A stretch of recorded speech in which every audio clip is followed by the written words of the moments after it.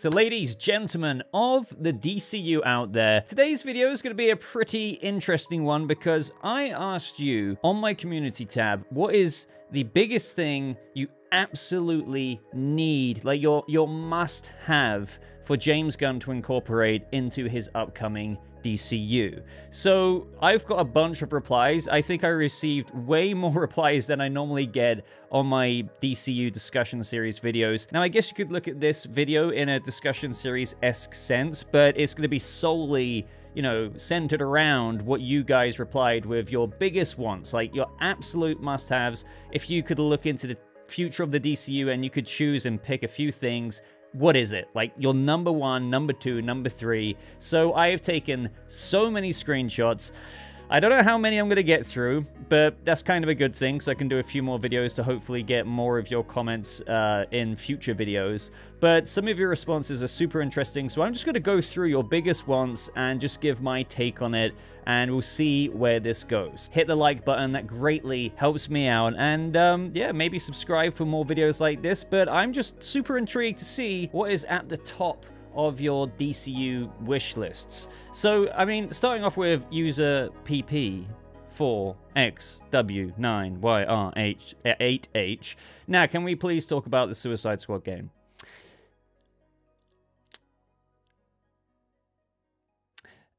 Now, from loser Liam, uh, 2362 saying, I need to see Justice League International as a TV show. I want a good cast of characters in a half drama, half sitcom. Like, I want to see them just chilling and living their daily lives. I, I want to see superheroes as real people with real problems. Now, as for Justice League International, I do understand that desire. I mean, I see mixed opinions on the Justice League International. People like, oh, I don't know about that. Oh, no, actually, I'd rather them go this direction than the Justice League International. Now, I, I don't know what it is, but I think I have a good feeling that we are going to get some form of the Justice League International team up, if you will, in the DCU, or at least in somewhat of a prototype phase. This is the thing. It has been hinted before by James Gunn, I think even funnily enough, on his Instagram story. Not that this means too much, but as of when recording this video, he showed this on his Instagram. And another reason is, of course, with the casting of his brother Sean Gunn as Maxwell Lord, the fact that we're getting a Booster Gold TV show, it makes you think that, you know, maybe, let's just say, I don't know, from the top of my head here, Booster Gold surrounds, obviously, him traveling back into our time, present day, and Maxwell Lord perhaps introduces him to the present day Earth,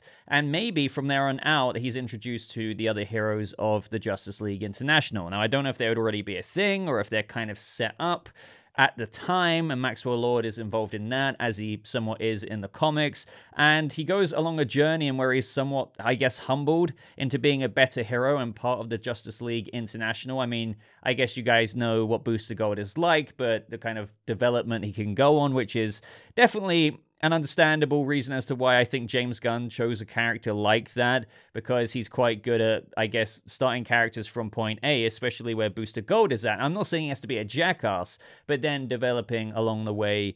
And along with that, you can, yes, incorporate other characters that may very well already be in the DCU by that point, such as Mr. Terrific, of course, um, Batman. I don't know if we're going to get like a fully established Justice League International. And, and what I mean by that is as I always say, even though James Gunn does seem to be, with everything he said, going very comic book accurate, it's still not copy and paste. This is still an adaptation, so I do expect some pieces to be moved on the board a little bit. Now, as for an actual Justice League International show, I mean, never say never. I mean, I don't know if we would actually get like a half drama, half sitcom thing, but I do see what you're saying there. Like on paper, I don't know if people would disagree with that, but you can imagine, given that, as I always keep saying, to really paint the big picture here, out of the 12 projects that we've had revealed so far, including Peacemaker Season 2 and the DCU Arkham series, Gunn said that's less than half of what is still yet to be announced to even, you know, finish off the announcements for Chapter 1, let alone all the announcements we're going to get in Chapter 2.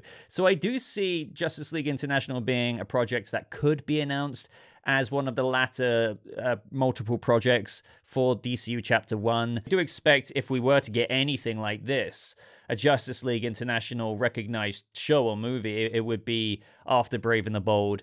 Um, so yeah, I, I could imagine, I could imagine that happening. Something like this, I think, you know, if I had like a little sensor that was like going bleep, bleep, and, and the, the closer you get to it, it bleeps faster, I feel like it is bleeping faster in the direction of the Justice League International team members, Sean Gunn being Maxwell Lord, uh, James Gunn saying Maxwell Lord being called a straight up villain is quite reductionist. Same thing he or similar thing he said about the engineer. They're not straight up villains or anything like that. So let me know if you agree or disagree. Do you think that we could see a TV show? And as pointed out by Liam here, I do feel like in the Justice League International version, you could kind of get, as as he pointed out, to the real drama, like episodic aspect of it. But also, there, there will be some funny moments, but through the lens of this show, even if you just want to make it a limited series, maybe similar episodes to that of Peacemaker, not surpassing eight episodes, you could get into the daily lives of these superheroes, and that could that could really offer some interesting things that you don't really quite see before. Like, I don't think we've seen that properly done. I mean, we've seen like Marvel Disney Plus shows, but there's never been like, hey, like Avengers the TV show. And this wouldn't be Justice League per se, but you know, I I can I could believe that they would have Batman appear, but maybe he wouldn't be there all the time. But yeah, let me know what you guys think of that. I could ramble about this one forever, but long story long here, I think Justice League International is happening in some way or another. So up next from another user dash CF2IC9EX9Q whatever that means. Um, I want Nightwing to be important in the DCU like he is in the actual comics and finally get the recognition he deserves. Um, I'm going to keep this one short and brief because I think I've got a lot of things like a lot, a lot of comments like this to go through, but I 100% agree. And I say short and brief because I think something Nightwing is happening.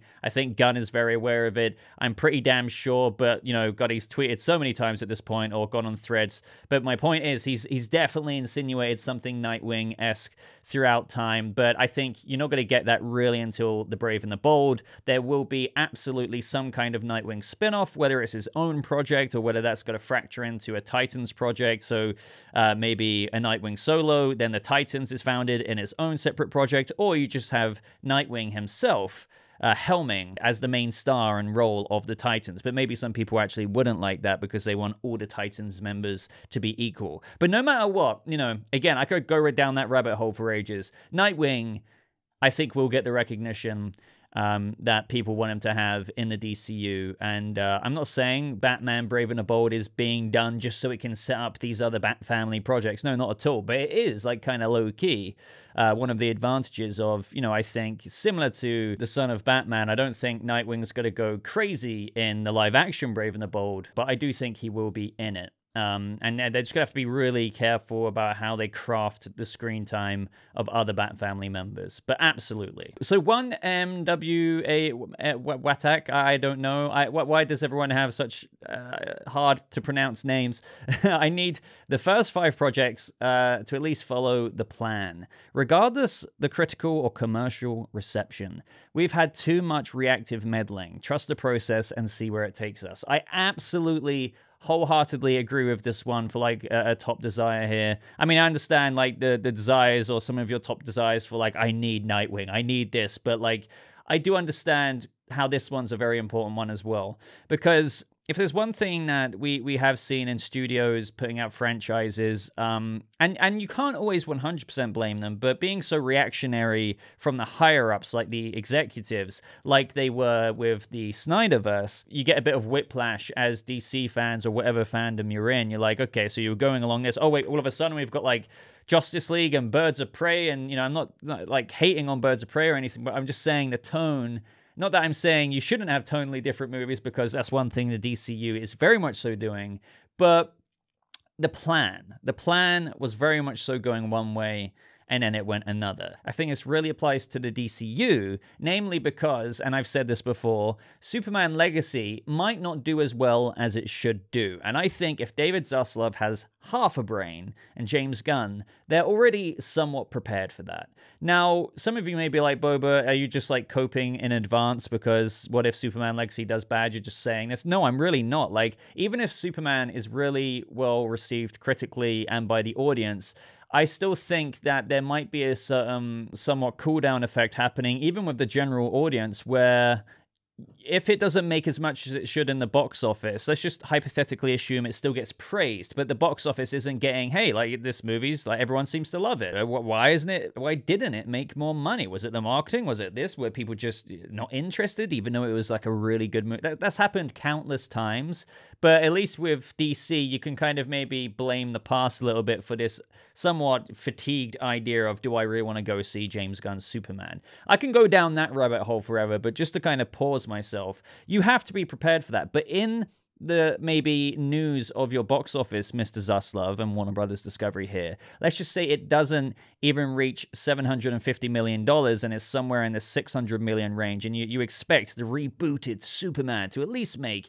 you know, the Batman Part 1 money, which is like around 770 million, I don't think they should panic. Do not panic. Stick to the plan because I think this is what is being expressed here. You know, if if it doesn't make the money, are they going to pivot? Are they going to be like James Gunn or David Zaslav might be like James Gunn? I don't know if you should now follow through with Supergirl Woman of Tomorrow. They didn't like Superman, so or don't do the Authority either. Maybe just go straight to Lanterns or whatever it is. And I understand that concern because it has been done before. But I think they are going to stick to the plan no matter what and just reevaluate um, a few projects in. So I think we're going to get Superman Legacy, obviously Creature Commandos. I think we're going to get, it depends now what movies is first because Gunn has admitted recently uh, in my recent news roundup that I covered that some projects are coming a bit sooner, some are now a, a little bit later. So let's just say Supergirl Woman of Tomorrow comes out, Peacemaker Season 2, maybe The Authority. I think then and only then they should reevaluate. Kind of look at the line graph, see how it's gone since Superman Legacy. Don't pull the plug too early and just be like, "Oh my god, what do we do?" And then you're basically destined to like doom your own universe if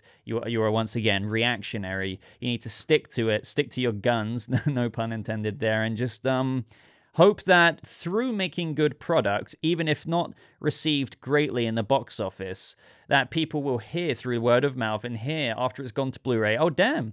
I actually finally decided to check out Superman Legacy on Blu-ray, even though I didn't buy a cinema ticket, and I was wrong. I really liked that. Oh wait, I've seen I've seen Supergirl Woman of Tomorrow now, or The Authority. I really liked it, and then eventually you will get people to subscribe. I just think it will take a, a while, and on the bottom line, I don't think anyone is being and and they shouldn't be at DC Studios or Warner Brothers Discovery ignorant to the fact that they've got some proving to do no matter what. So, with knowing that you've got to prove your worth, you need to know that some people won't even turn up in the first place and they still need to somehow be won over if they don't even turn up. And that happens with the echo effect of the success for those who did kind of originally see what you had to show and people saying, oh no, trust me, bro, the DCU is cooking. And then more and more people come on board. But no matter what, initially, they need to hold the line for a good couple or three years, so to speak, um, or more, maybe four years. And then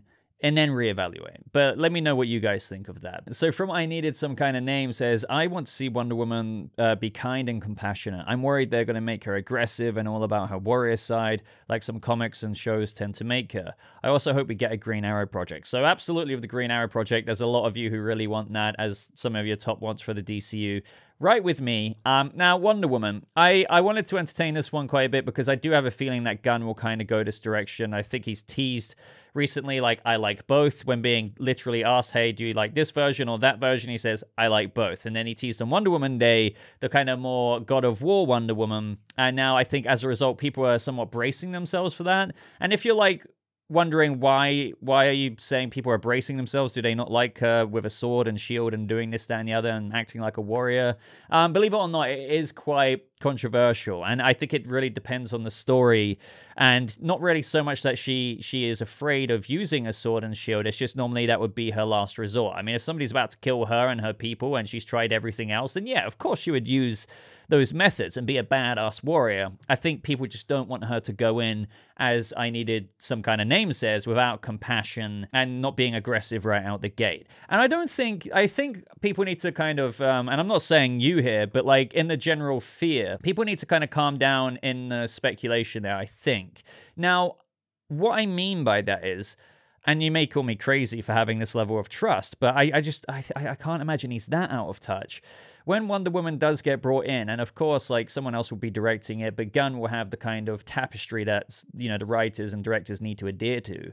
I can't imagine he's going to have Wonder Woman go into a situation of saving people and massacring people. I mean, I mean, kind of Zack Snyder did this, I suppose, in the sense that when he when she saved those children, she threw like people up against the bank wall or whatever it was, or the school. I can't remember where it was, but she just straight up yeeted people away, and, uh, and there was a lot of blood spatter and whatnot.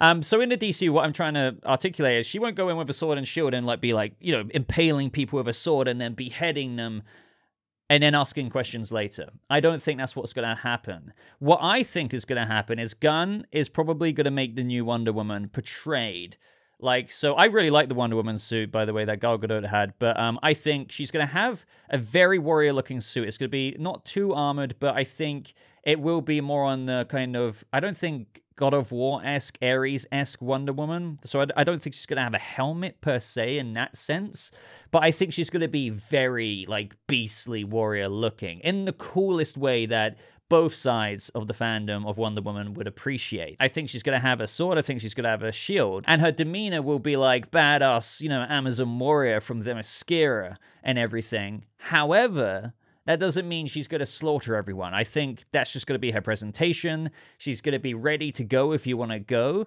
uh, and the action will be served to us because I think there's going to, they're going to give us opportunities and scenes where you know whoever she's trying to deal with isn't taking any other answer than a fight. But that doesn't automatically mean, as I said, she's going to go into some situation where there's hostages and she's going to slaughter every single one of them and behead them. And like, I think James Gunn's just going to blend it. Long story long, once again here, she's going to be badass warrior Wonder Woman, but also equipped with um, the the weapons of peace being that of compassion, but at the same time, if you want, if you want to, if you want to go, we're gonna go, um, and I'm down for that. I really am. But yeah, I, I, would completely understand complaints if she's like aggressive out of the gate. So up next from Arkham Raider for the absolutely needed thing in the DCU, Under the Red Hood. He's my favorite character and would make for a badass movie. The reason why I selected this one is because I do see it potentially being a thing. It's the kind of never say never thing. Of course, we have so much more to learn, but I think we can all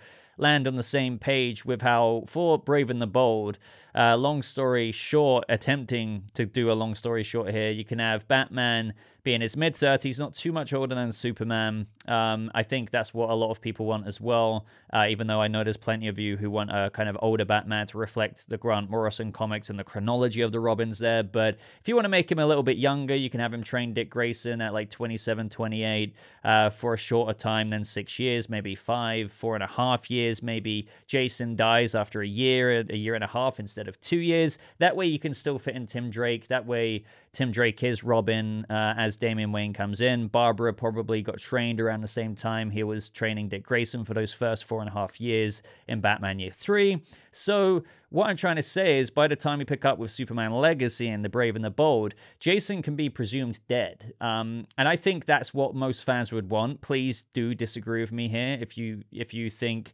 of an absolutely massively different idea. But I really do think why not have Bruce be 34, 35 to 36? And at this point in time, because uh, it is a bit more of a condensed chronology of training as Robins to achieve that kind of younger Bruce Wayne age. If you still want to kind of fit in a lot of the Robins he trained, that is. That's normally what I'm rolling with when I think of the Brave and the Bold. I try and think of a way of fitting them in. But yeah, I mean, why not? Like, what? I mean, at that point, like Bruce already kind of relinquished the idea of okay, I don't think I'm gonna have a Robin again. But Tim Drake kind of eventually got through, and he's the current Robin. Damian Wayne comes along, but you know, Jason is still presumed dead.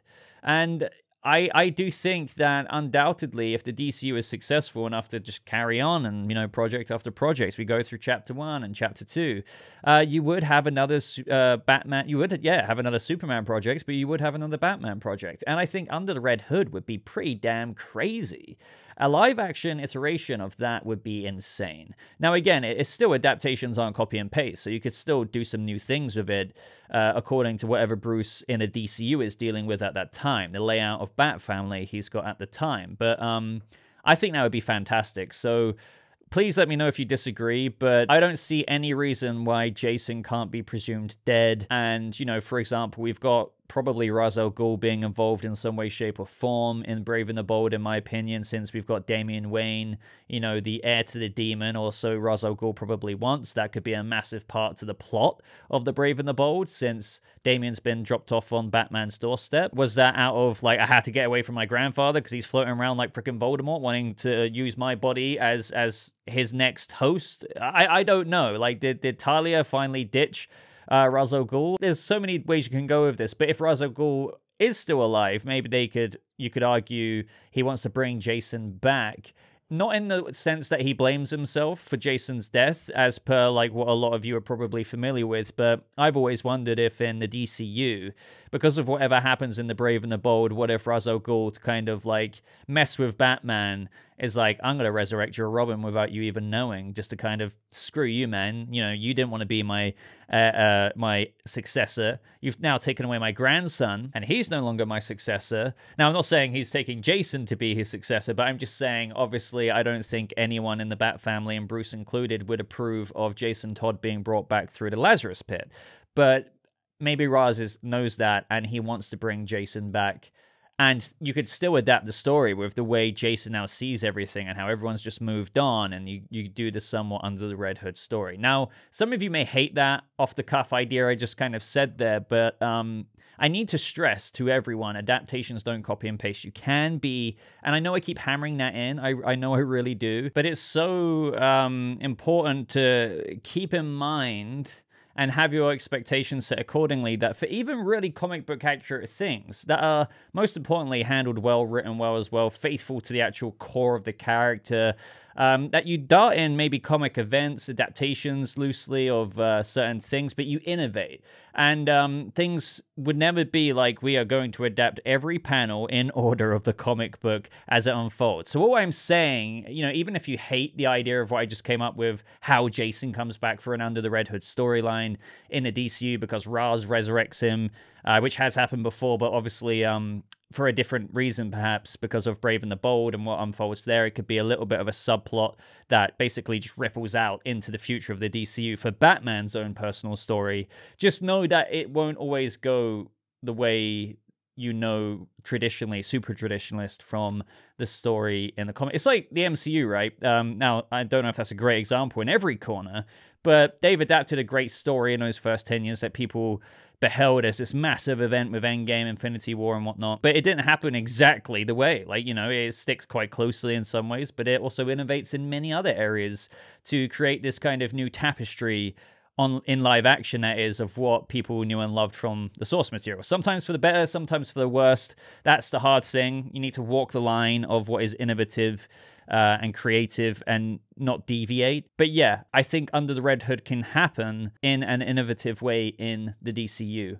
But let me know what you think. If you have any ideas, let me know. I would love to hear them because I don't know if I would necessarily say that this is like a mad top want from me, but like the more I think about it and I think, you know, uniquely with tunnel vision, like what do I want for Batman in the DCU?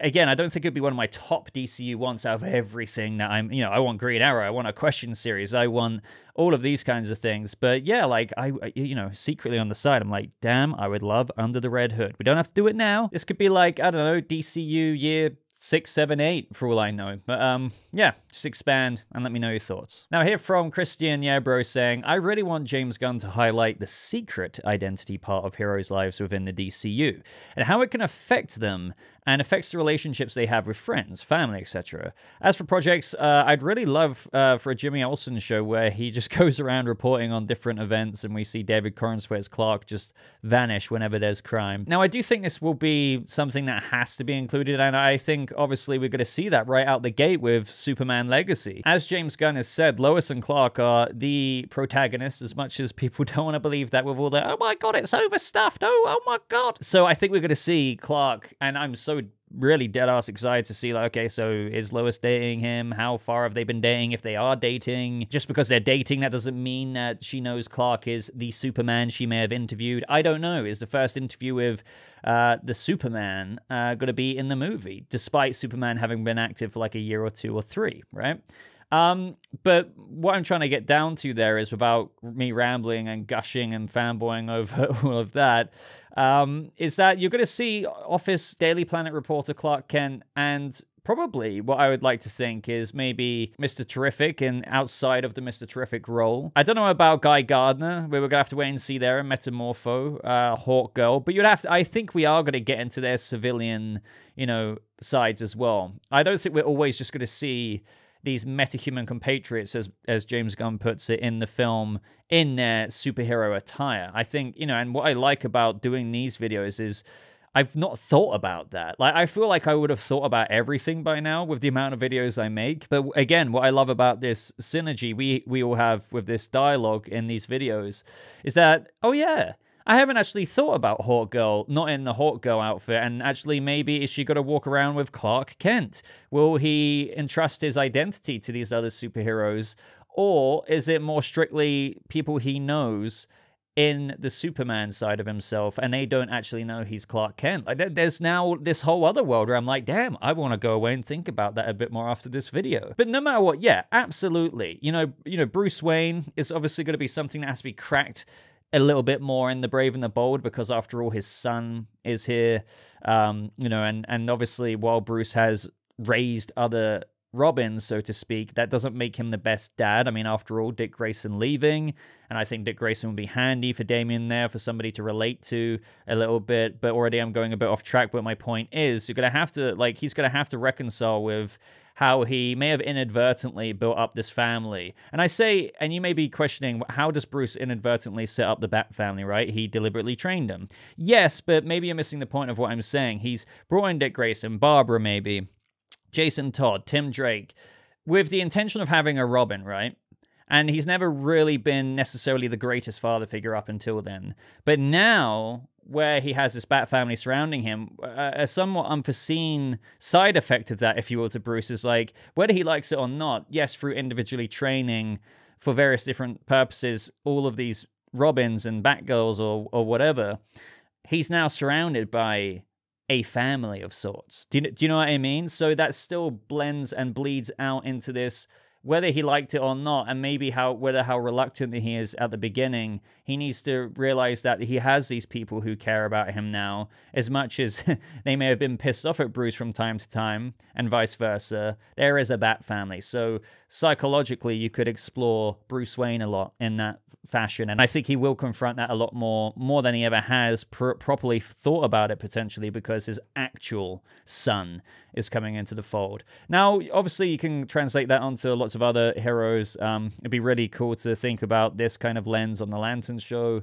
You know, outside of the investigation, the true detective s comparisons Gunn has said for lanterns. Um, you know, are we going to see Hal Jordan and John Stewart outside the suits with the rings on, but maybe having a beer at a bar, trying to crack whatever they uncovered that day with regards to the ancient horror? I don't know, but you know, also their families and outside of you know liaising with other lanterns in space from Precinct Earth. Uh, there's there's a lot that we can get into, but I think Gunn knows and, you know, this is something that needs to be proven, but something I keep always looking back on is everything he said on paper is pretty damn, you know, sounding, sounding very damn good. Um, and that is character, emotion. And I don't think, believe it or not, to a superhero, the only thing about that character is the superhero. Absolutely not. You know, to Batman, you got Bruce Wayne. To Superman, you got Clark Kent.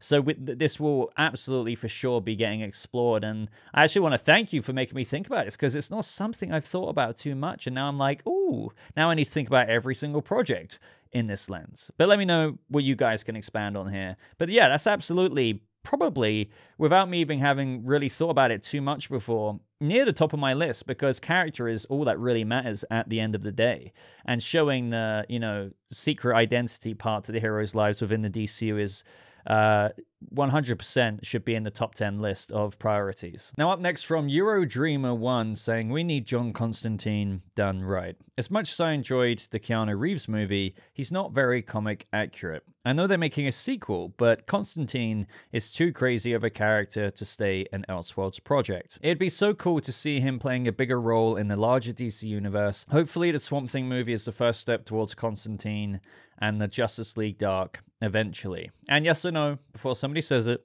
I know it's technically Constantine, but whenever I've said Constantine in videos before, people say it's Constantine, not Tine. So I'm just saying it uh, kind of the most popular way. Just just FYI there. But absolutely, uh, this is most definitely on my top 10 list. Um, John Constantine, I need him.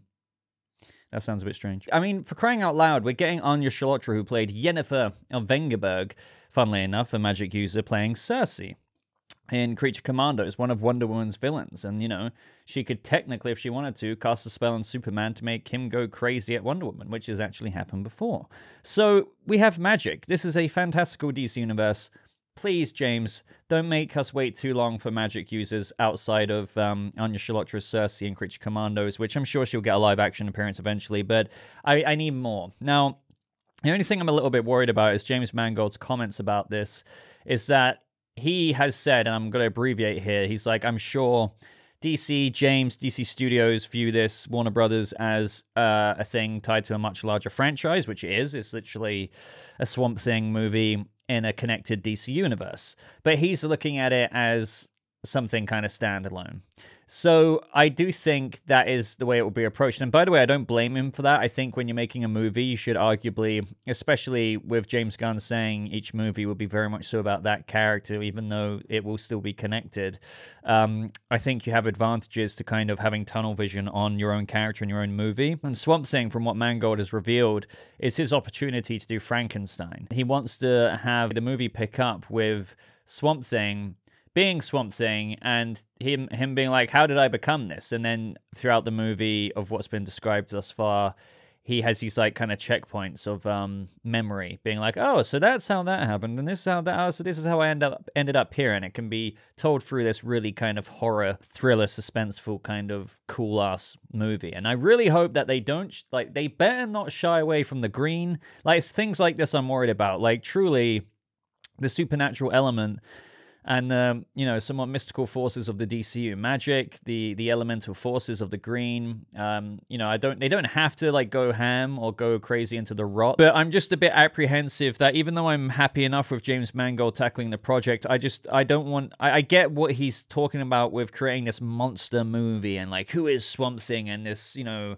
identity crisis of realizing what the heck happened to him, but don't neglect what this character can also open up. Now, I'm not saying that you have to have the responsibility of, oh, John Constantine's popping in. Oh, hello, Swampy. Oh, this is what happened to you, mate. All right, yeah, I'm Constantine. I can cast magic, and now Constantine's in the DCU. Well done, you've ticked that off your checklist. No, uh, I'm not asking for that either but just don't make Swamp Thing in such a way where it just, I don't know, somehow shuts the door off anything like that. But we're going to have to wait and see. I, I don't know how we're going to get that door opened up unless they do announce a separate project. So, like, we obviously know that, as you're pointing out here, Swamp Thing could be the first steps towards Constantine and the Justice League Dark. But we just because there's a Swamp Thing movie, which may really just pretty much concentrate on Swamp Thing um, we could also get other projects like Constantine greenlit, do you know what I mean, in the DCU. I really hope that is the case, and I hope that the fact that there's an Elseworlds project being pursued doesn't mean that they're going to shy away from that. And, you know, of course, we've got proof that that doesn't have to be the case because, you know, you've got Matt Reeves as the Batman, part two and part three. Uh, hopefully, part three, obviously, depending on how part two does. Um, and you've got DCU Batman, you know, so, so they're happening simultaneously. I think we should have a Constantine. And by the way, I do want to say that the preparation um, for Constantine's sequel with Keanu Reeves still needs to technically be greenlit. Um, you know, they're developing the script, but James Gunn still needs to sign off on if it hits the high caliber bar that they need to hit in order to actually have it signed off on. So I don't know. Um, but yeah, long story long again here. Uh, I need John Constantine in the DCU. To get Justice League Dark would be epic, but I don't know if we would actually get that. I think they want to world build a lot of other things. Maybe what I was saying earlier with a bit of Justice League International dabbed around here and there with Maxwell Lord, Booster Gold, see what's going on there. Batman being sprinkled in, maybe a World's Finest situation, maybe the Trinity, maybe Justice League. But Justice League Dark, I, I, I don't know if they're going to go like full send into that until maybe like chapter two. So I hope it still happens. And if it doesn't happen for like the next five years, I still wouldn't worry because I still think it could happen. But yeah, I hope it absolutely does like no matter what. Uh, so Raheem Jennings, 1397 says the relationship between the Trinity needs to be done right. And then we have another comment here from JD1776 saying the Justice League uh, done properly. I don't want to see some cobbled together team like we saw in the DCEU. Give each character a proper introduction before the team up. It doesn't have to be a full movie, but let them pop up in other projects before the team up so it doesn't feel so rushed. That would make the audience more invested in the characters, and if someone dies in the DCU, I want them to stay dead at least for a while. So I do agree. This is one thing I've been racking my brain with with regards to okay, so h- how are these characters going to truly form? Um, should it start with a Trinity project first, or like a World's Finest, but then you have kind of a Trinity thing? Um, you know, and I completely agree with the way it was done in the DCEU. You don't want some kind of video file or you know introducing them that way. They're already out there, or like Wonder Woman just comes in. You want there to kind of be a natural organic sense to it. So I do agree with building up to it, which is why I wouldn't mind. I think a lot of people can maybe agree with this instead of just going head over heels into the Justice League. Maybe you can play around with how there are some familiarity, there is some familiarity between heroes out there. Like Batman's been doing this for probably at least 10 to 12 years. He, he's probably got tabs on Superman. He probably I mean, this is Batman. He, he knows of other heroes out there. And this is something I need to remind everyone as well. Like, this, this universe has been existing for a long time with metahumans and villains and superheroes, like way before um, the, the past 80 plus years. Probably since for hundreds of years, but maybe the first official, you know, modern ish recognized superhero team up that is in museums is the Justice Society in World War II or something. But, you know, they're really trying to spell to you that heroes exist, and have existed for a long time. So I'm not discounting that maybe some league members know of each other, and this is why I think Justice League International could be a thing because in this movie we've already got Superman knowing um, Mr. Terrific and other superheroes and popular ones at that out there, like Hawk Girl, Guy Gardner. People know these characters. They might not be your favorites, but you get what I'm trying to say. And that's why I think with that cooking in the background, you know, Maxwell Lord coming in, I do think you can do things like a world's finest between Batman and Superman. I'm just dying to know if they've met each other already. I'm really dying to know that. Really, really, really, really dying to know because I feel like, and I play this clip all the time, and you're probably seeing it on screen right now, you could kind of have this not I don't know if I want to quite call it rivalry, and by all means, I'm not talking BVS type situation at all. Nothing like that, where Batman and Superman go at it. But there's this kind of like, eh, you know, situation happening, but then they just grow closer throughout it. Like they, they might initially rub each other the wrong way, but then that's maybe what the world's finest movie will do. I mean, I don't know if Batman would be taking a case in Metropolis and Superman's like, eh, you know, I know who you are, and you know, I've come across you before once or twice. I don't know what it will be, but that would be really cool.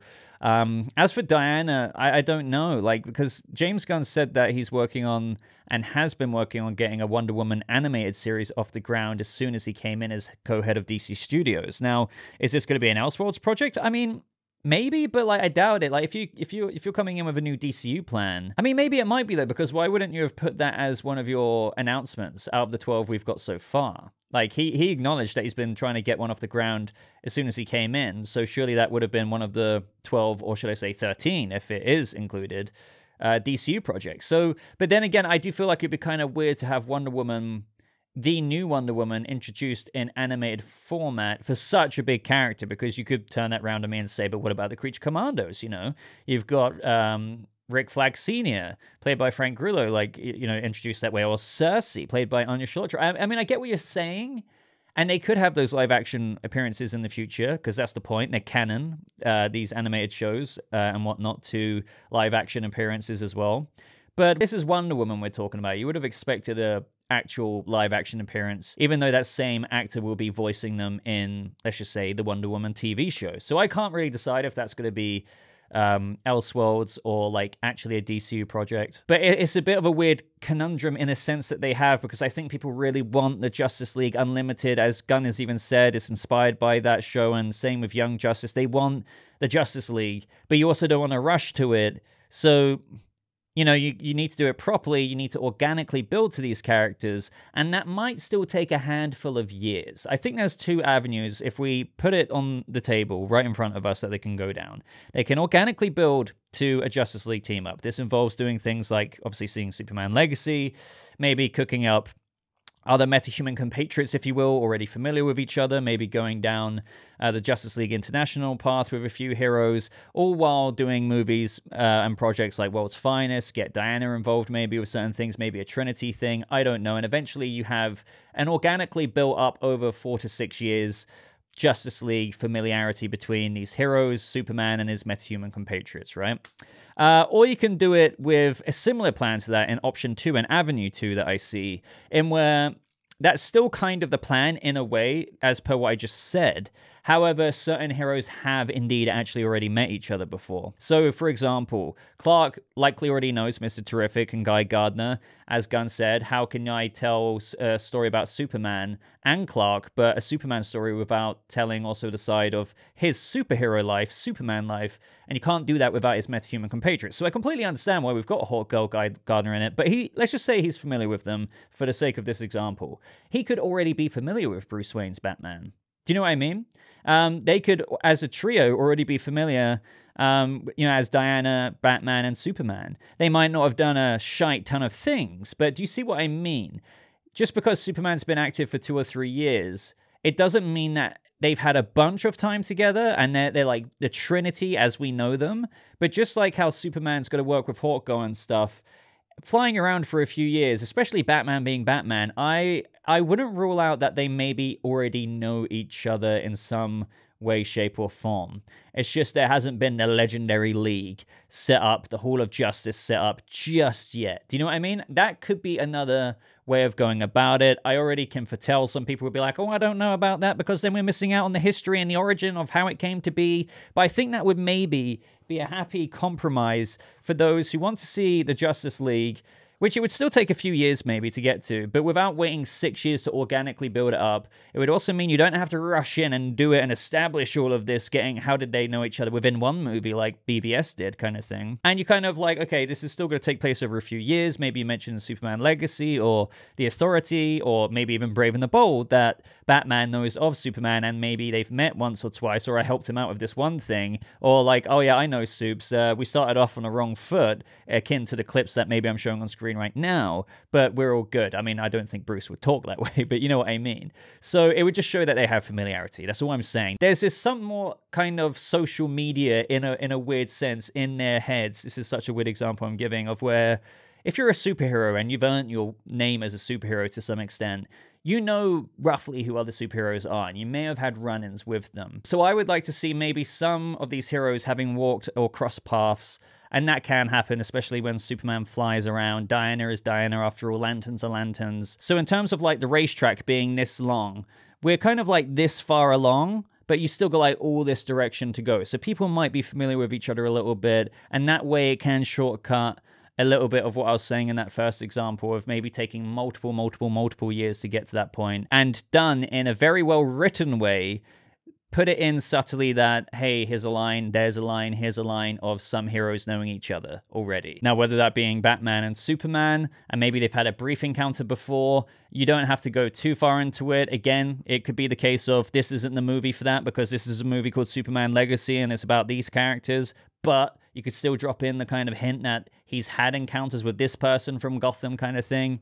That would be a way to shortcut it. And I know I've been kind of rambling quite a lot about this one, but I would love to know what you think. I think the Trinity does need to be done right, and if that means taking a, quite a while to get there, uh, and to get to a kind of fully established united front and you know beacon of hope that maybe Superman will establish with Superman Legacy and catching the attention of other heroes like Batman and they only just meet each other for the first time then so be it it might take several several several years to get there but if you kind of want to do half of that route, but with these heroes already knowing each other to some extent more than others. And you kind of just have the rapport already built between these characters when they meet for the first time or maybe they just get to know each other a little bit better, then I would be okay, I think, with that as well. It's just it would need to be written really well for us to believe that, okay, so this actor is meant to pretend that he's known this actor for this amount of time already, and we need to believe that. I mean, they're actors, but we need to believe that these characters have had maybe an adventure before. Maybe Superman, for example, could have flown into Gotham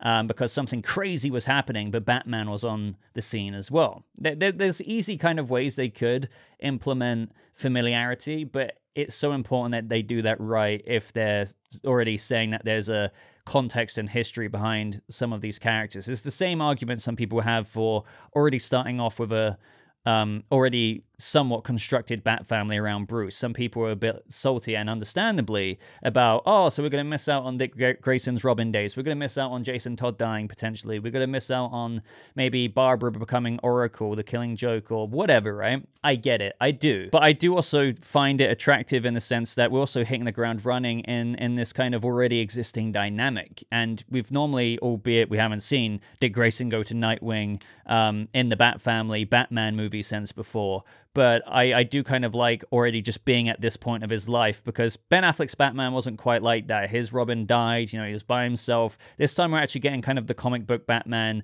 We don't have to take 10 plus years to get up to that point of where he's got a Bat family around him. We're starting already with like it, it already flourishing. That's really cool to me. I get both sides, but I'm down for this hitting the ground running approach of the DCU. So let me know how you would tackle the Trinity and the Justice League being built up to. And I wish I said this a second ago. Uh, the next question after this was from Big Shack 1029 saying, I really want to see a Batman and Superman building up their relationship as best friends throughout all the projects. Then, by the end of chapter 2, a Public Enemies movie.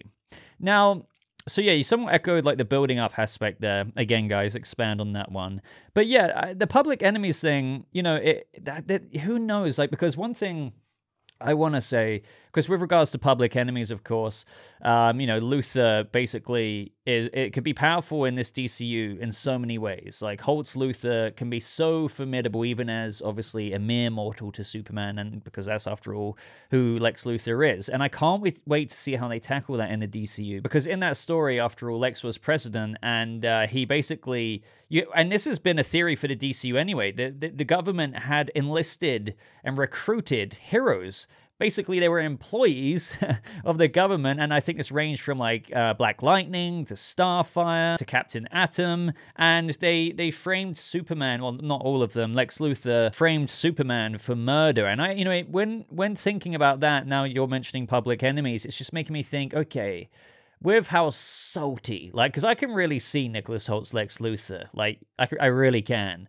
What's a way that he can try and drag down Superman and maybe what what he might be trying to bring about change in the world because you know there's all of, all of these rumors of how the engineer right now of whom is an authority member in Superman Legacy the team itself won't be in Superman Legacy because, for all we know, the team might not exist. Like the engineer, by the ending events of Superman Legacy, will go on to create the Authority team. For all we know, like we, we really don't know right now. But there's a lot of ideas in a public enemy sense that what if she is hired, or like you know there are certain heroes in a world where heroes have existed for a long time, and that's what the DCU is. The government is no stranger to metahumans and that's why obviously they they they may be a bit panicked by this um you know person they can't control like Superman. So in an Amanda Waller sense, and who knows what Waller is going to get into, there might be measures of certain metahumans that are recruited, and probably Luthor might have. It depends how political they're going to go with him. But it just wouldn't surprise me if the engineer, at least initially, even though some people would argue that this is against the kind of what the authority would even do in the first place, but again, that could be the catalyst for what fractures the engineer off to go form the authority. But through perhaps initially being enlisted, not like a Task Force X thing or anything like that, but you know what I mean.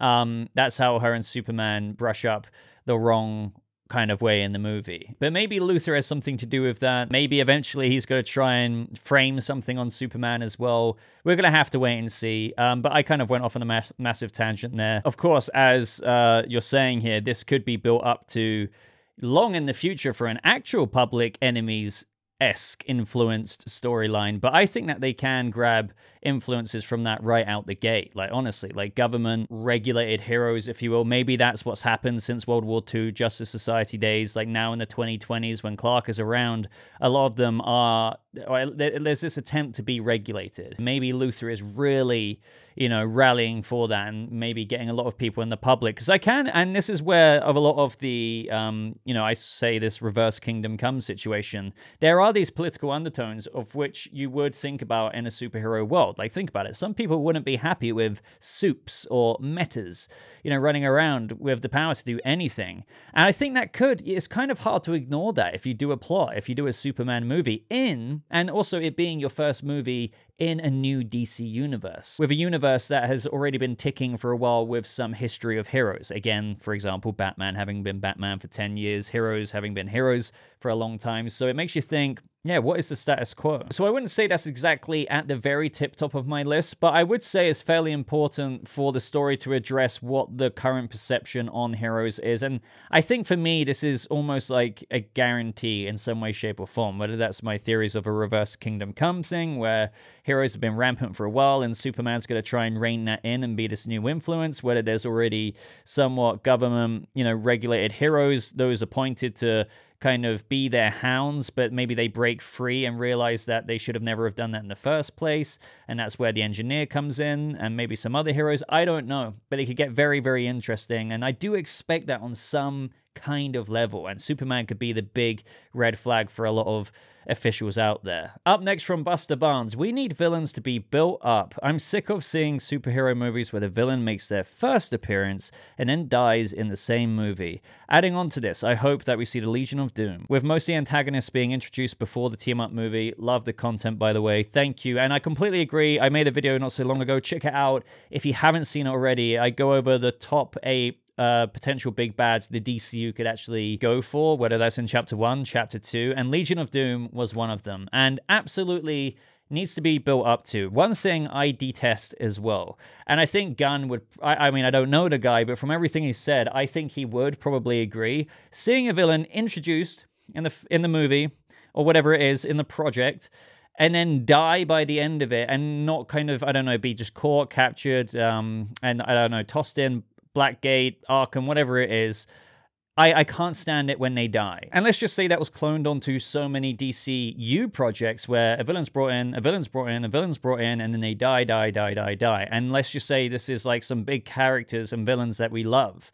I would, I would, that would really be a big pet peeve of mine because I'm not saying they have to come back, um, but at least it gives you the comic book somewhat explanation. And this is one of the things where I don't see why you should stray away from the comic books in this one, where just capture the villain put them away, whether it's in the metahuman holding cell or something like that. And at least that way you have the ability to incorporate them in a story later on, whether that's just for like some kind of interview or like liaising with them, whether they break out. Again, maybe they get put away and they uh, join the Legion of Doom later on. I just, I, I would, I would really be disappointed if, for a good example would be like Circe, right? She's introduced in Creature Commandos, and let's just say she dies in Creature Commandos. I'd be like, wait, what?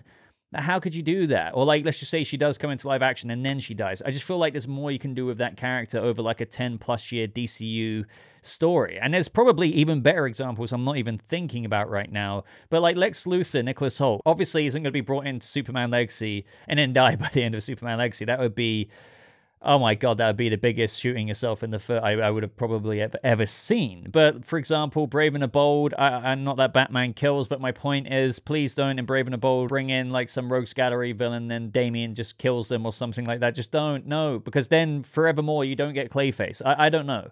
Uh, you guys get the point by now.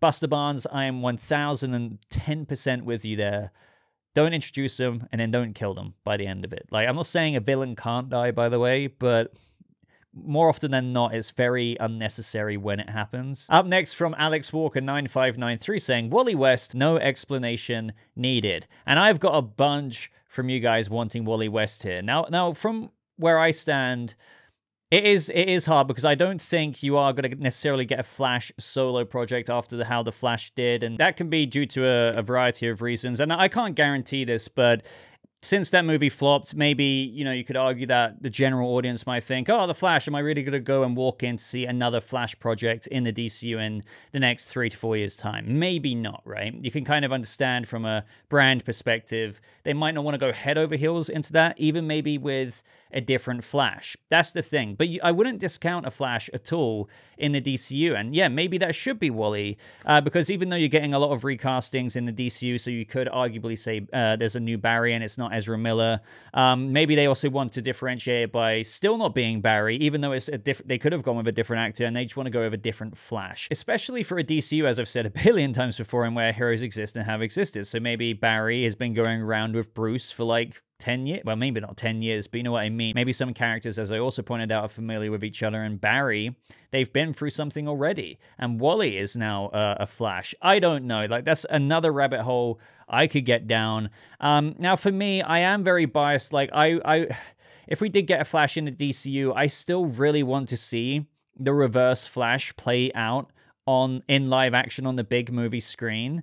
Um, but then again, I wouldn't be remotely salty at all if we if we got Wally. You know, there's still uh, Hunter Zolomon on there, Zoom, and, and they could get into some crazy, crazy things. So I do think we're going to get a Flash. Maybe that could be introduced through something like the Teen Titans. Maybe he's not going to be a much, much older Wally West. It could happen like that. And maybe it's going to be he's going to be introduced through another DCU project that isn't just called the Flash. Do you know what I mean? I think it would happen that way rather than there being a dedicated DCU Flash project, even if it's Wally West. But let me know if you disagree there um, and how you think they could bring in Wally or maybe even Barry. But ladies and gentlemen, I'm going to have to end it here. I've kept this video going for quite a while and unfortunately, as usual, I didn't get through nearly as many screenshots as I wanted to. I've got tons more literally saved to my folder, like tons, and then there was still tons more I could have taken screenshots of on the community post. So what I'm going to do is more episodes of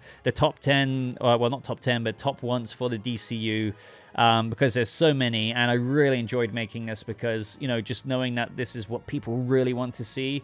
Obviously, we're only really going to be talking about the most desired things for the upcoming DCU, and that's always exciting. So let me know your thoughts on everything we discussed in today's video. Please consider leaving a like, especially if you got this far. It just helps boost this video out there a little bit more. And double check, triple check if you've been enjoying my videos, if you're subscribed, because you might think you are, but you might not be. Sometimes YouTube is a bit like that. Uh, but until next time, ladies and gentlemen, again, thank you so much for your time today. I hope you have a lovely rest of your day, and I'll see you people of the DCU in the next video. Goodbye.